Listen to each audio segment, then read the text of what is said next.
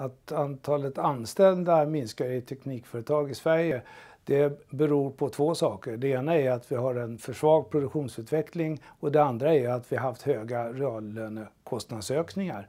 Och eh, när vi ser framåt så räknar vi med att eh, vi kommer att få färre anställda i teknikföretag i Sverige också i år och vi räknar med att nedgången blir ungefär 1,5 procent. Det motsvarar 4-5 000 personer.